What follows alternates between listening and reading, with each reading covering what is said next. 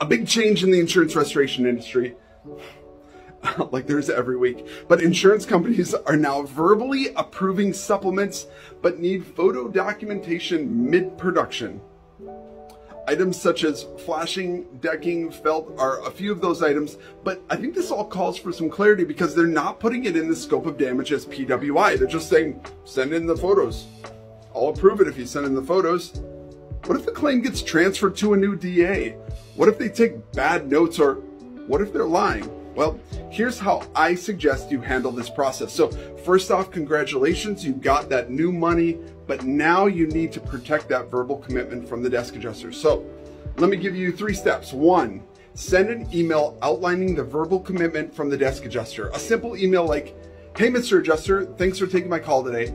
Also, thank you for verbally approving the flashing with photo documentation during tear off. I will send those photos as soon as it happens. This will set an email expectation of the conversation and put the proof of burden in the adjuster's hands. Side note, I'd CC the homeowner on that email too. It'll help a lot in the end.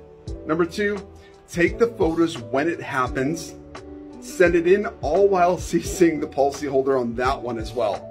Three, the project's over, defend your pricing.